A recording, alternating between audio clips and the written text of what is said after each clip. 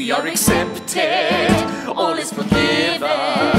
The disaster's averted, we are not deserted. The idiots will persist